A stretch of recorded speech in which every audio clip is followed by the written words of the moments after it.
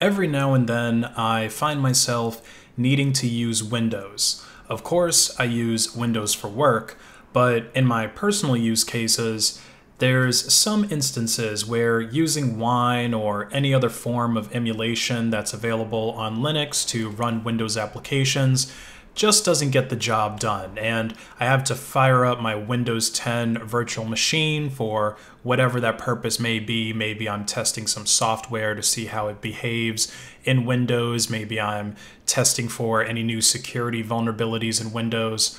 But there's a big problem with Windows. And it's not just it being proprietary software. I mean, that's kind of a given when you're dealing with Microsoft. But the real problem that seems to get worse as Windows is updated and new versions come out is that it gets more and more bloated. And I mean, it's already bloated by default, right? Like, just look at this task manager, and this is a fresh install of Windows. I haven't even really done anything on here. I haven't installed any new software, and yet it's using 1.5 gigs at idle. Uh, it's jumping up to about 10% CPU usage, and I don't even have anything else open. Like I can get these stats on Linux, even lower than this on Linux, and have a whole browser open.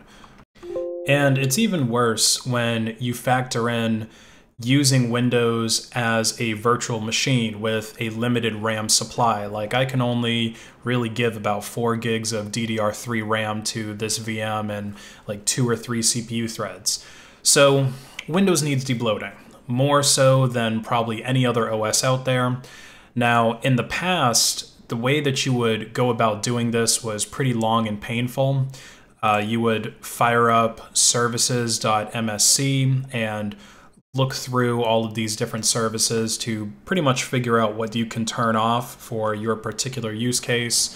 Uh, then you would have to go and do some registry edits and you know turn off change values in there and also go through pages and pages of settings. Plus there's two different settings within Windows 10 so you've got this setting but then you've also got your control panel. So you got to poke around through here and it's just a huge waste of time to do this manually but I found a handy little PowerShell script that can do this for us so it's called a Windows 10 debloater. And it's right here on this GitHub page. Go ahead and maximize this for you guys. So yeah, you can download this and it'll automatically go through and do a lot of debloating for you. It also turns off telemetry. Um, you can nuke Cortana through this. You can get rid of OneDrive, a lot of uh, those type of things you probably don't want to use, especially if you're just using this as a testing VM like I do. So yeah, let's just get right into it. This is the quick download link here. So we can just copy that. And in order to run this, like I said, we need to use PowerShell. So go ahead and fire that up as an administrator. And we should just be able to paste this in.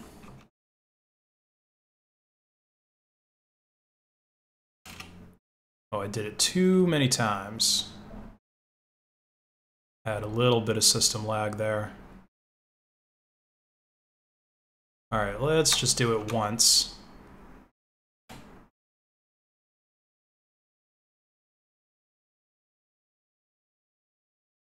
And there we go. So this is the little GUI that you get. So real easy to actually run it from here. You don't have to know commands or know PowerShell or anything like that.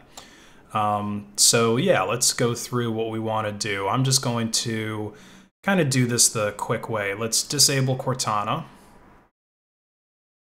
And let's remove all bloatware.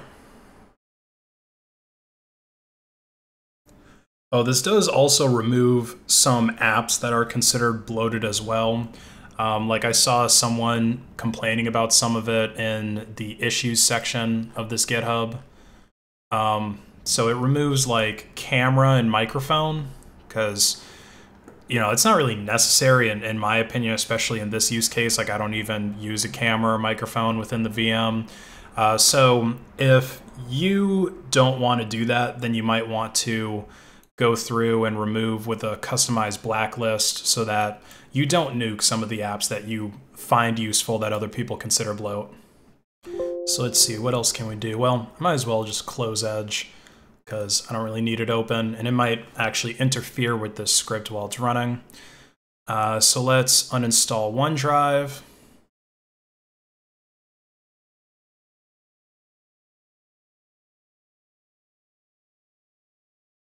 All right, so it has to stop Explorer in order to do that.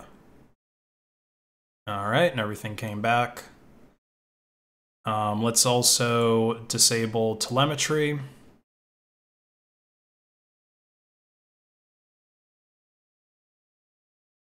Yeah, and you can see over here on the side everything that it's doing. Um, and let's see, what else can we do? Oh, let's remove the registry keys.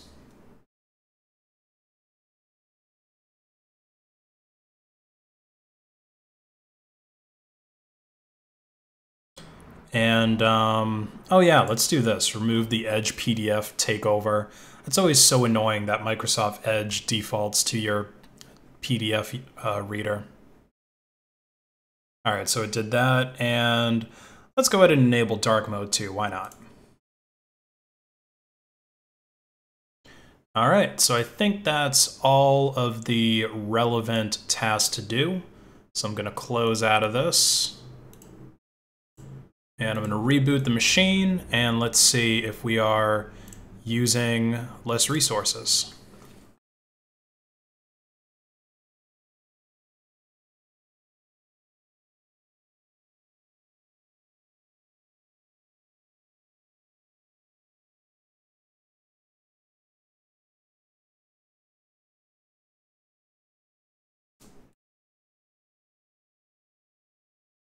All right, so we are back in.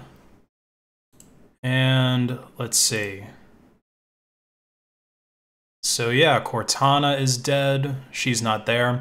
Oh, also, I would say this is a better way to disable Cortana than the other method that I showed you guys in the past, because uh, the previous method I showed you guys pretty much nuked this whole Windows search bar. I mean, you can still launch your apps manually, and that's you know, I can I can live with that, but some people obviously don't want to do that, especially if you're actually booting into Windows 10 on hardware. I'd imagine you would still want to have this so that you can find like uh, you know control panel and stuff like that. Um, let's see. So we got our dark mode turned on. And let's look at our task manager, see if it made any difference.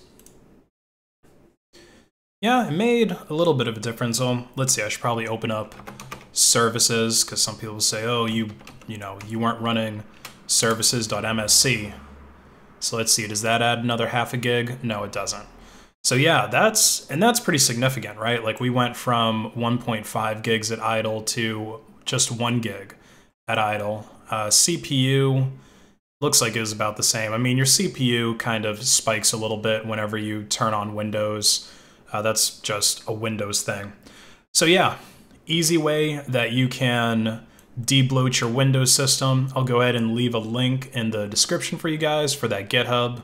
And all the instructions to use it are there on the page. You can just copy that link into PowerShell like I did. Of course, make sure you run it as an administrator so that the script can actually do everything that it needs to do.